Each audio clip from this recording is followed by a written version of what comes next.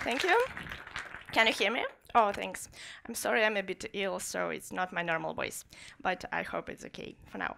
So, my name is Svetlana Isakova, and I work at JetBrains. I hope you know it's a creator of several nice uh, IDEs, like IntelliJ and others. Actually, I am Kotlin developer of Kotlin. Last year, we finally started to write our Kotlin compiler on Kotlin, and it brought so many, so much happiness and peaceful to our lives that I want to, I'll try to explain why, actually, during this talk. So what we're going to do today is, at first, I will talk a little bit about motivation. Why did we start it at JetBrains? To create another bicycle why didn't we stop it? because now we have Java 8 and uh, Swift and many other nice languages.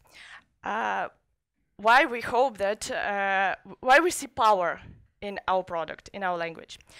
Then I'll show you uh, a mix of Kotlin basics together with Android examples. I'll try to show you Kotlin through Android somehow. So what is Kotlin? Kotlin is a modern language for industry. By that, what do I mean by industry? What is Java good for? Java is a very powerful language.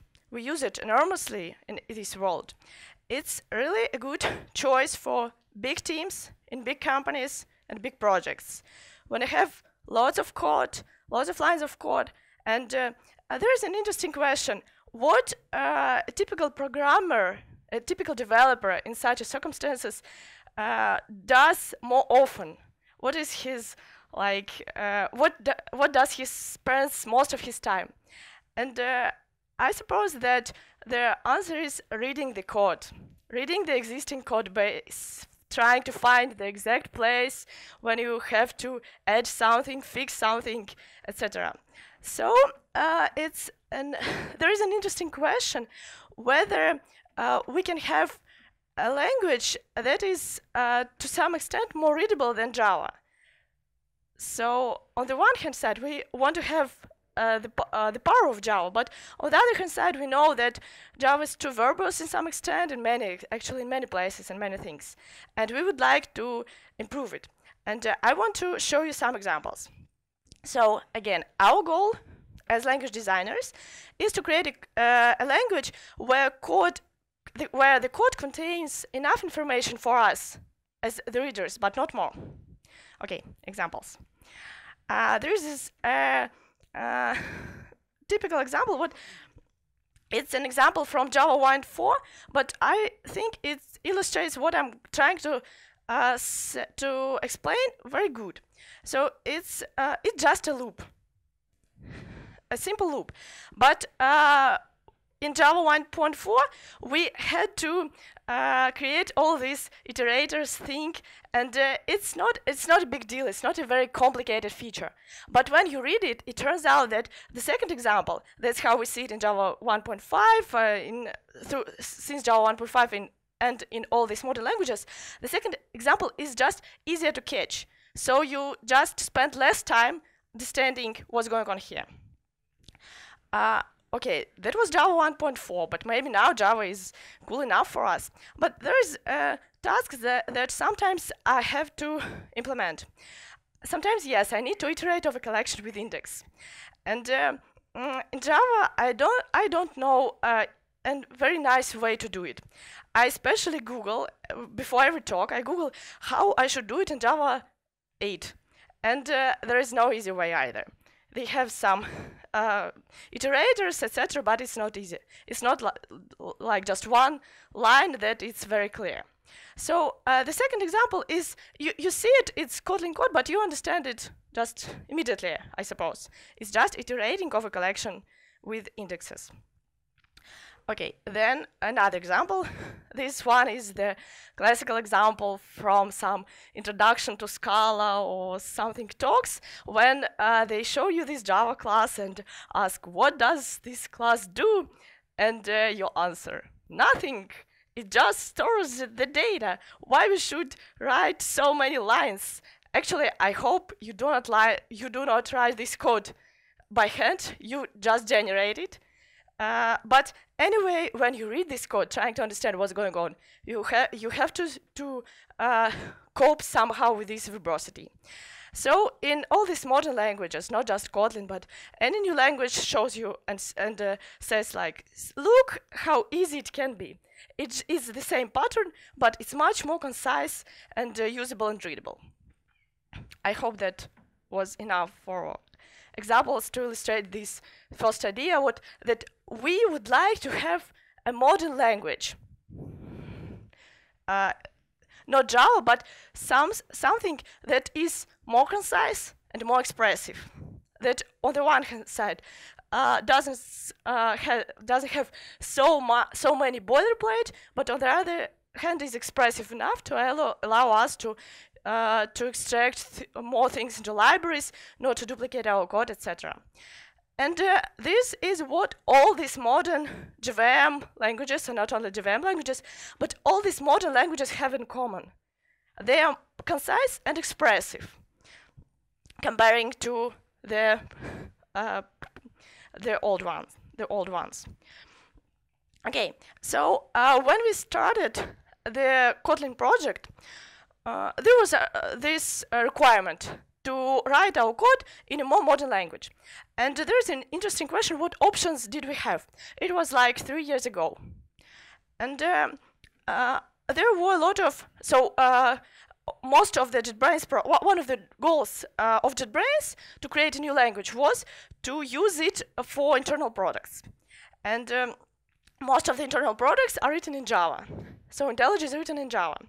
And there was different objects, like uh, we could use Groovy, but it is dynamically typed language. Now it's it's moving to static typing. It uh, suggests you to use static type annotations and so on.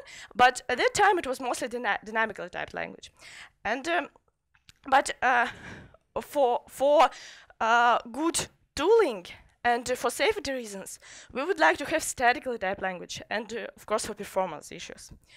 Okay, but then there was only one candidate at the time, uh, the language, the JVM language that was statically typed uh, except Java.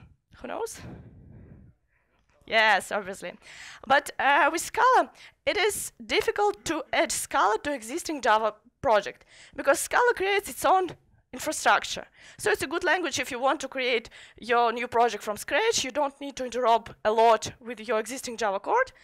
So it's rather difficult to continue write IntelliJ on Scala, to add new Scala. So you can, for example, in JetBrains Scala plugin is written on Scala, but it's like a separate component. If you want to add uh, a lot of new language in the existing code, it's, it might be painful.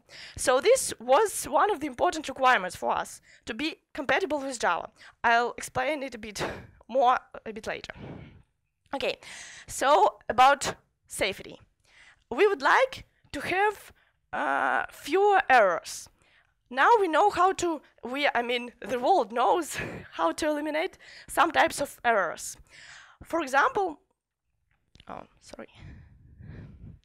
For example, I forgot that I have this thing. Now I remember it in the middle of the presentation, but anyway, uh, now uh, what do I mean by this? Uh, to eliminate some types of errors. We would like to convert runtime errors into compile time errors. The, the best, the most uh, well-known example is the example with nullable references when uh, almost every new modern language has its own approach. It says, okay, we know how to cope with nullability. There are different solutions like option types, like nullable types, and so on. But uh, we all know that, okay, we can cope with it now. There are, in Java, there are other issues like, uh, for example, in Java, you have mutable uh, collections by default, and uh, uh, you can't guarantee its, its not immutability, but you can't guarantee that it should shouldn't be mutated outside in compile time if you use standard Java collections. So if you are returns collections, you can't guarantee that the user won't change it. And it's just it's Java has to be backward compatible, so you can't just change it. Uh, code will be broken. So it's like may maybe it should be designed differently from the start, but now every everyone lives with it, and that's all.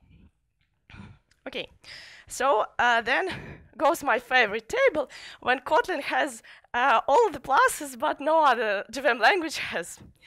Uh, so when we compare these JVM languages, so we are on the JVM side. So we are interested only in Java world. And we compare uh, these modern JVM languages with each other.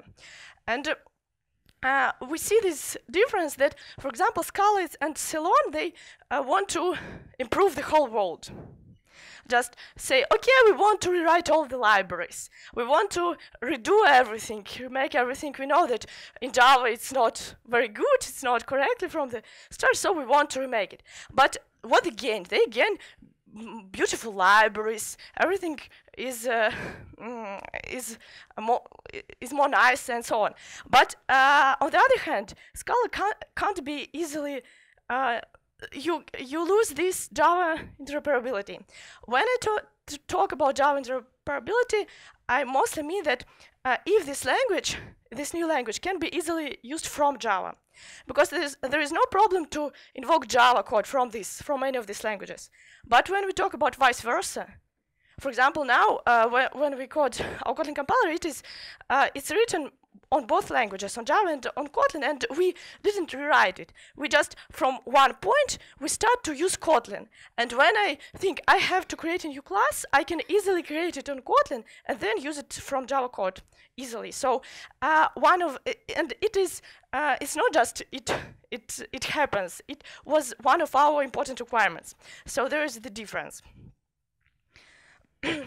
okay, so uh, in conclusion of this introduction part, Kotlin tries to be smart to avoid boilerplate, tries to be expressive to let you avoid repetition and extract into, into libraries, and tries to be as safe as possible to eliminate many types of errors. Okay, so what's wrong? Actually, why everyone doesn't use Kotlin just now, and why it's not the like Kotlin, Kotlin conference?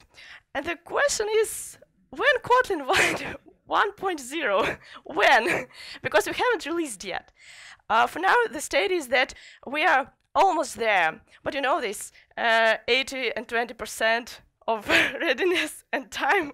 So uh, I think um, from some from some time ago, we were when we started to use Kotlin in our uh, for Kotlin compiler, it works. Okay, there are some places uh, that uh, there are some bugs and places when we have to use some workarounds, but basically uh, our team is working both on compiler and plugin, so you have good IDE support from from scratch.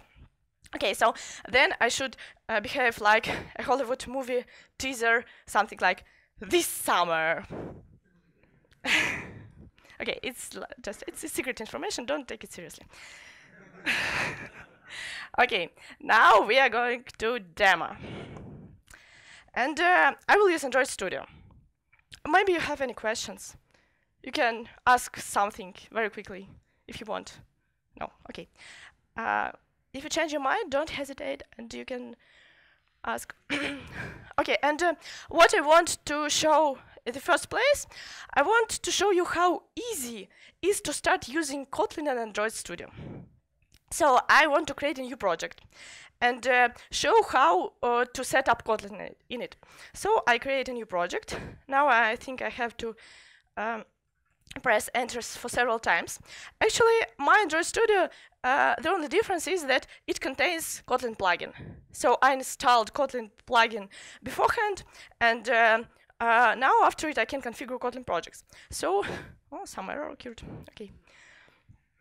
I think we'll ignore it for now. Maybe. Oh yes, it's, it's it, everything is okay. It's resolved. So what I at first I want to change this uh, view to project. It's more convenient for me. Uh, then what I do, uh, this uh, Android Studio created default activity in Java for me. But what I can do is to convert convert Java file to Kotlin file. It's a very nice feature because when you try to write, try to code in Kotlin and you don't know how to write something, you can always write it in Java and then convert it. It it actually, it so the converter should be improved actually more because now uh, you get something like Java-like code, but anyway, it's better than nothing. It, it it's very convenient. Okay, uh, then the, a bit of magic. I think uh, very soon we'll um, uh, change this magic. But uh, what I do now, I add a Kotlin source directory uh, you'll understand why very soon. Then I have to say that I want to configure Kotlin in pro in project. Yes, enter. And uh, the the very important thing is that you don't you need to know nothing about Gradle whatsoever. You don't need to know how to uh, how to add these things, but it's it's all done autom automatically. And um, if like, it, it, it adds some dependencies. Um, in plugin. So I think, uh, yes, I said uh, synchronize. And uh, the last thing uh, I need to do is to move my Kotlin activity class into Kotlin uh, source source folder. I think this one will will fix soon. But anyway, uh, just from this moment, you can uh, try to code in Kotlin in your project okay somehow it synchronizes. Okay I think uh, we'll any questions? The dependencies. Kotlin plugin? Apply plugin. Bottom yes we have some dependencies for Kotlin. It add it uh, added. I can uh, show you the real difference uh, but I think it's better to show you it after the talk. From git history uh, okay, so uh, now I have created, I have prepared this project for you. So now we are moving to uh, examples part. Kotlin basics through Android examples. The first one is uh, like classical examples. I really liked uh, yesterday in a Groovy talk that um, there there was the same example with button and set and click listener. So it's uh, it's so important for Java developers to have lambdas. I think uh, most of you, uh, I suppose most of you know about lambdas already. Who knows? Who have heard about it? Oh, it's all of you. So it's like uh, no uh, no surprise that you can just set on click listener. And uh, what's important here, we do not add any our library methods. Uh, this is Java standard method set on click listener, but we generate uh, um, we generate additional method to th that uh, that then uh, that then invokes this one. Uh, so if uh, Java class invokes uh, like some interface, so some interface with only one abstract method, then you can uh, use lambda as an argument. I think it's clear. So now what I want to do is something like make toast.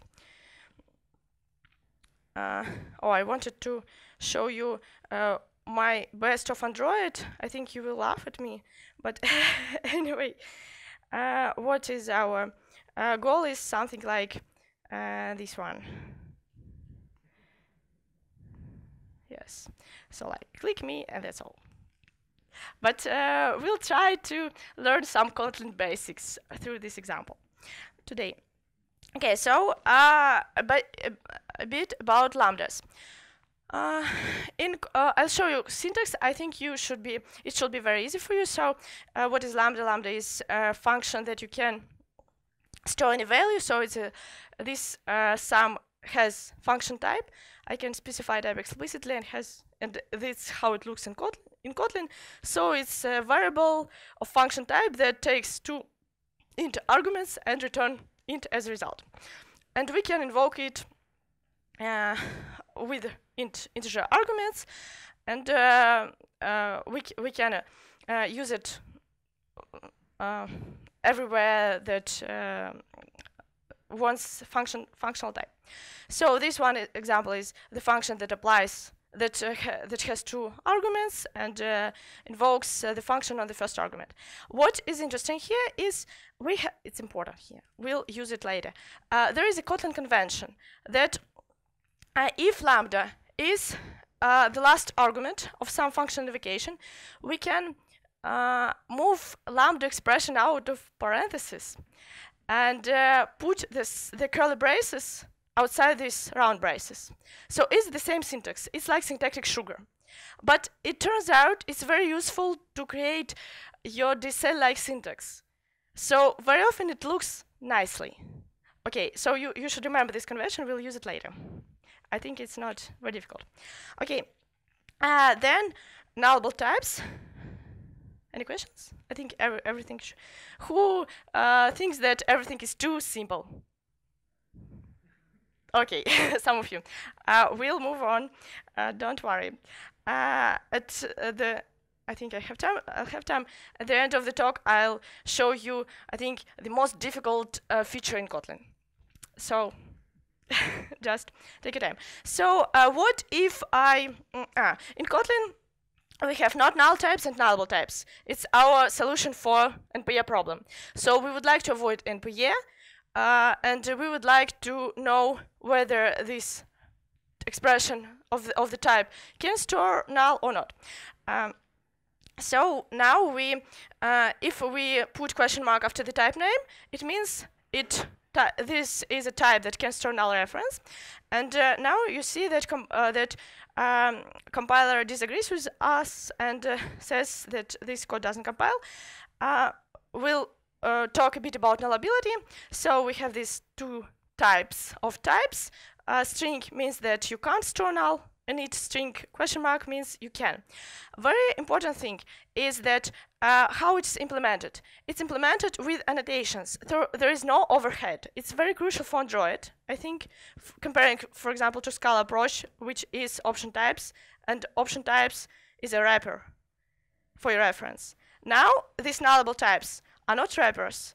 They are just uh, Java, in this case, they are just Java lang string types with different annotations. So here, the signature from bytecode is the same.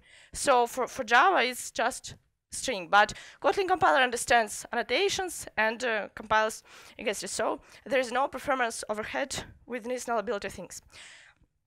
Uh, so what can we do with um, uh, what can we do with uh, this variable? Uh, first of all, we can we we can dereference uh, as S1, but we can't do the same with S second because uh, uh, because it can store null. So compiler forbids you to dereference directly. It requires you to check it explicitly. What can you do? F for example, you can check if it's not null, like in Java. And uh, in this in in this case, dereference it. But uh, Kotlin compiler knows better ways. For example, it suggests you to replace it with safe access expression, and uh, it's the same. So uh, this safe access means that if it's nullable, then do what's what's going next. If it's not null, then don't. I think this feature was uh, this thing and syntax was stolen from Groovy. Actually, Kotlin. Uh, I think there maybe there is only one thing that that is initially Kotlin thing. Most of the things was stolen from many different languages. So uh, if you try to learn Kotlin, then you'll show very I don't know. The, the, you'll most probably know all the features already if you just have some basic understanding of, of how it works. Um, okay, what is the type of the first expressions? Of the first expression, it's uh, int. Uh, this int is um, in bytecode is Java primitive. Int int question mark in bytecode to make it simple is is is Java lang integer. So uh, what is the type of this expression? Int, int or int with question mark. There's two. Who votes for int? Who votes for int question mark? Oh, you're right. Yes, you're here. That's really nice of you. Okay, uh, so actually, uh, if I want to have a default value here, I can write something like this. And in this case, the result type will be int, and it means that if the expression is null, then return this zero as a default value. Okay, uh, Kotlin uh, static analysis of nullability is smart enough, so you can write something like check as dwa for null if, if it's null return. And in this case, as Kotlin compiler understand that understands that you can uh, you can dereference as two. In Kotlin, we have uh, these smart cast casts. That means that if you checked a type, uh, a variable for some type, then you can use it uh, as having this type. It can be very convenient for um, in Java. There is sometimes this code like instance if if something um, is something then and so on. So in Kotlin, it's just a bit easier and uh, again no boilerplate in this in this point. And um, uh, who was yesterday in Swift presentation? Maybe some of you are. Okay, quite a lot. So you know that in Swift they have uh, one exclamation mark to show you that uh, to, to throw null pointer exception. In Kotlin, you have two of them just to, to prevent you to u of using it. Uh, just to say, no, no, please don't don't use uh, these question marks and the, the exclamation marks. And that means that if you really want to throw in here and you are sure of you're doing, you can do it. And uh, what is our story with Java interop? A, a small digression. At first, we thought that we would like to improve Java code as well. We wanted to annotate all Java code all, all your existing Java code with external annotations. And for every Java functions, tell which argument is nullable and which return type is not null. Oh, and nullable or not null and so on. But it turns out it didn't work very well because uh, it's very inconvenient and if you try to uh, to cope with Java, with unannotated Java, everything was nullable by default because Kotlin compiler wanted to prevent you.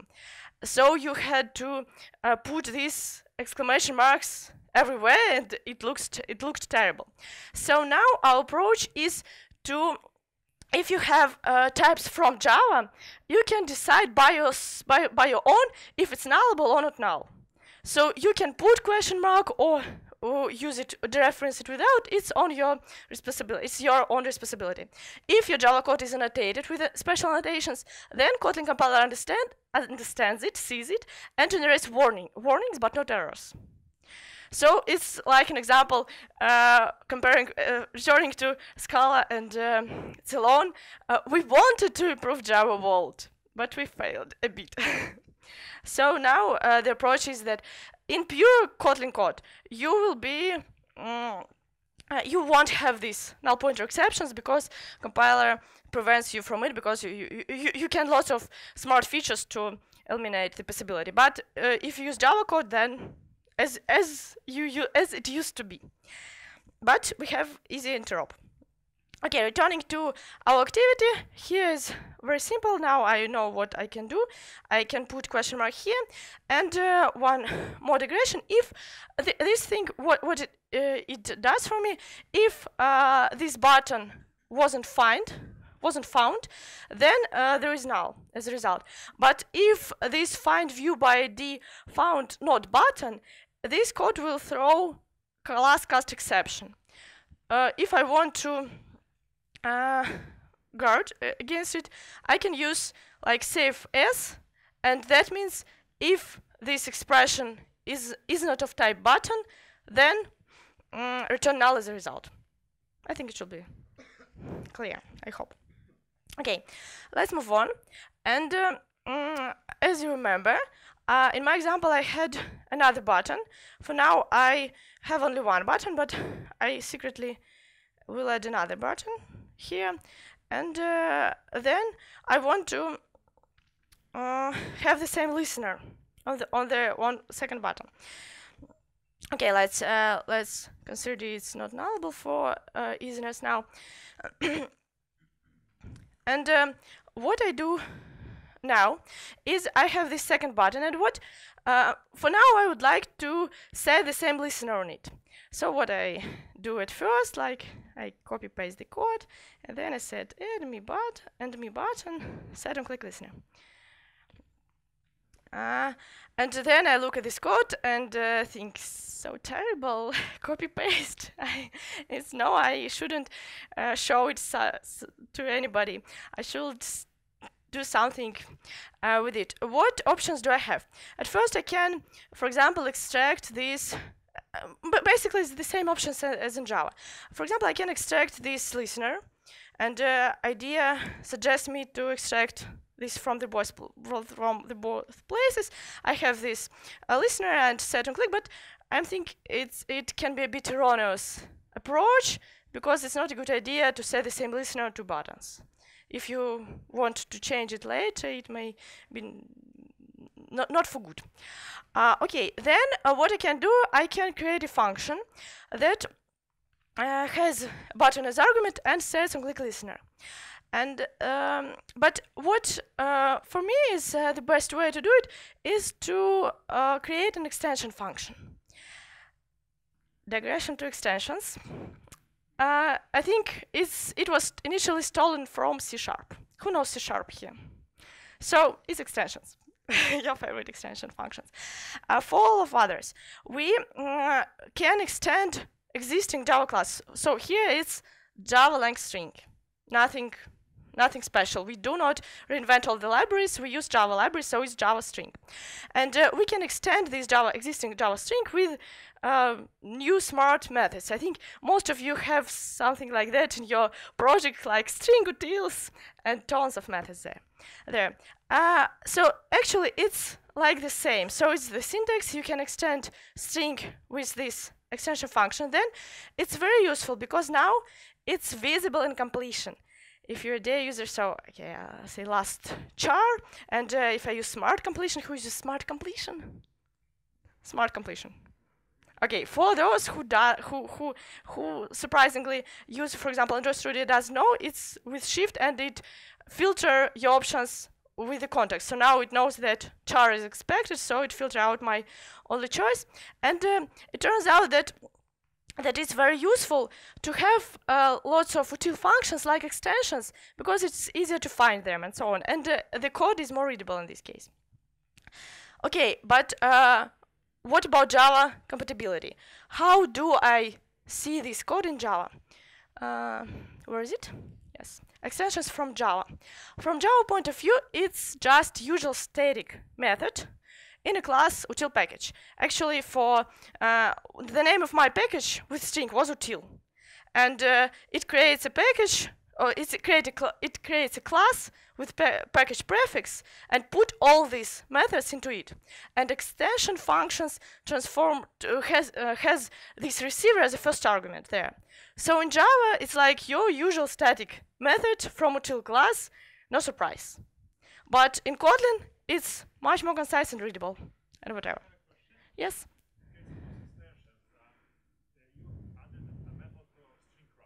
No. Again, uh, I has I have a class. This this util package is a class, and it has a method last char, like usual util static method, and it has string as an argument.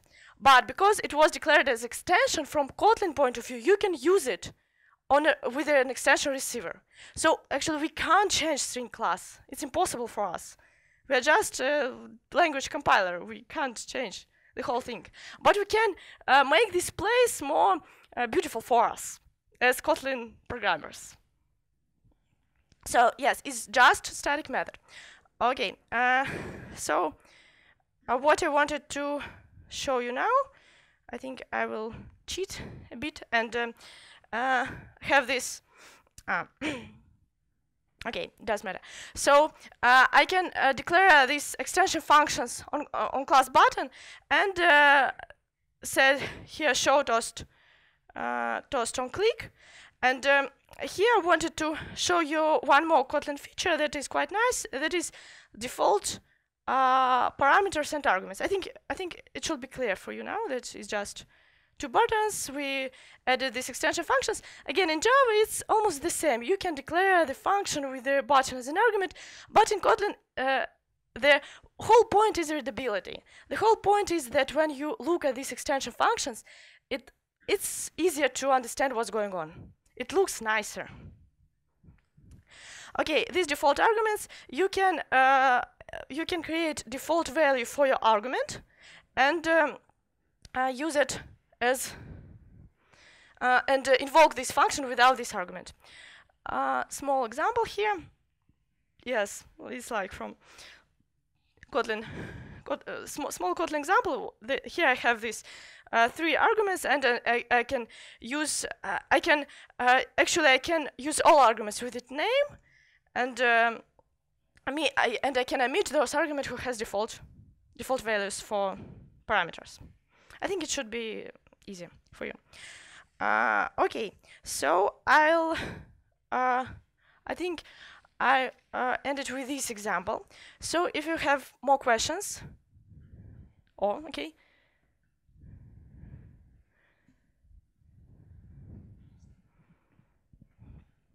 first, I would like to congratulate you and JetBrains for developing ah, so many I'm sorry. beautiful products. and but uh, my question is uh, that, uh, as far as I know, uh, Kotlin does not support annotation yet. yes, it's it's uh, like uh, the weighted question. Um, um, does I mean yes about annotations? it's like on our priority list. We know that um, I'm sorry. I meant that I I'm I've done I've done with this example, and uh, I waited uh, may maybe questions about this syntax. Actually, I want to show you uh, a bit more magic about Kotlin. So maybe we'll um, put the I'll answer on these annotations questions and then uh, show you some more examples and then questions. Um, so annotations processing it's on it's on our priority list. Like we know that uh, Android developers need it because of these frameworks and uh, everything. But uh, we cannot say when we finish it because it's a big task. But uh, we know and uh, we want to, to, to, implement it. Okay, so. Sorry, I have a question also. Yes, question. Okay. Very quickly. You define the extension function in scope of the class, so yes. it's visible only in, in that Yes, in this in this yes, I can define extension extension function in the scope of the class, and as you see in this extension fu functions, I have actually two these. This is button, and uh, this one is activity. Okay, thanks. Yes, um, I have only eight minutes, but I wanted to now I wanted to show a bit of magic. Uh, it's like in it's a plugin in alpha alpha version, so it uh, not published yet. Uh, but now I have it from sources, but I wanted to share you what ideas do we have to improve Android World, something like that. So this example is the same that we viewed, that we saw already. So, uh, but here I can improve it a bit strangely. So I can write something like this. And it works. And something like this. Without find view by ID. And uh, I don't need it. Uh, yes, and actually you can see in the top of the screen, I have two import imports. It's like two secret imports. And uh, what is what is going behind the scene. If you really want all the details, you can ask me later. I will be very happy to explain you. Now, I won't go too deep into the implementation, but in in mm, in short words, like uh, when I I uh, now uh, and you you notice that this one is button is button, so it has button type, and generally there is a plugin that generates uh, when you use uh, some ID from your IDs it generates something like find view by ID. Uh, but actually find cached view by ID. So it creates cache in activity with all these views by ID, from IDs to views. And uh, it caches and you can use it in activity just by ID. That's it. So if you if you want some more details, please ask me later. But basically, it's it's it's a plugin for it's an external plugin. So uh, this code will work only if you use this plugin. So if you open it somewhere else, it won't work, obviously. But with this plugin, you can write the code like this, and uh, and that's it. It will generate all the implicit find view by ID things behind the scene. Okay, I have five more minutes, and. Uh, Actually, I had another example. Um, I think I can try to I can try to show it you. I like this example. Um, who have heard about uh, types uh, like maybe Groovy builders or our type. So um, in basic, okay, so.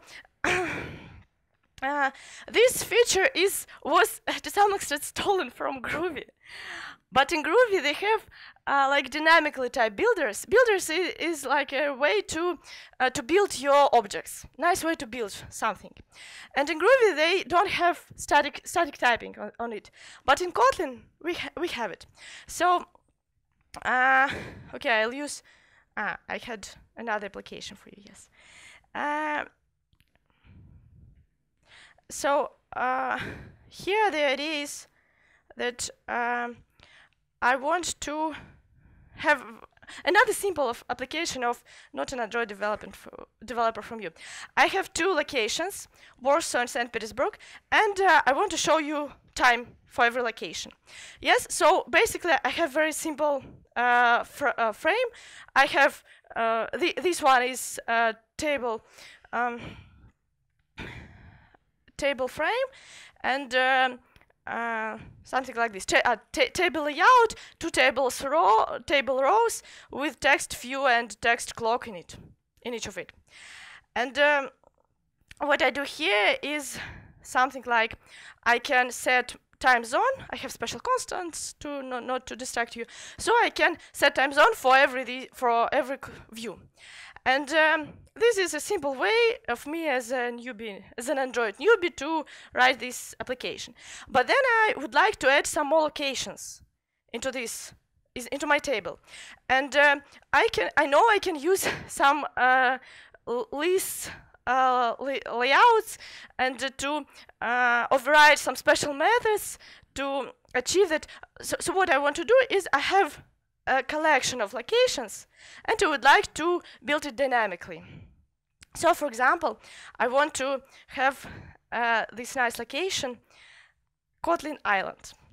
Kotlin actually is an island near St. Petersburg, so its time zone is the same as in St. Petersburg, but my goal now, I want to add this location to my application. You're from Poland, yes, we know it. good ketchup for you, yes have a good ketchup. Okay, so uh, what we can do in so we, we want to build this layout dynamically and in Java is a pain it's a pain because you know you have to declare each fragment and then set up all the properties and so on but in Kotlin we can do something like this and that what we call builders type safe builders and uh, it's it looks like a uh, it looks like your usual XML with layouts, but it's actually Kotlin code. And what's important here, table layout is an invocation of a method. And uh, do you remember what you uh, had to remember? That this one is lambda in these square brackets. And uh, this nice syntax that you have this this method and then goes lambda in, in, oh, squares, so sorry, in curly brackets. Uh, then again, this table row is a function declared somewhere, and uh, this thing is lambda. This how it works, but actually I have the same layout. And um, very quickly, I'm sorry, uh, I'll show you it, and uh, we're almost done. The nice thing here that is that I can write code in this dynamic layout. So I can write, so for example, I, I can write my for iteration loop, iterate over my locations, and dynamically build what I need to, to what, what I want to build, this table. It works. So uh, this one actually is a, a, variable of text clock type, and uh, I can set time zone here, and so on. I'm sorry, I can I have one minute, so I have to stop here. If you have any questions about how it works, how it works the previous plugin, uh, when we want to release, why, and I don't know, any questions you can ask. Uh, I don't know if we have time for any questions now, but you you can ask me later. Generally, that's that's it. That's that that was a bit about Kotlin. Thank you.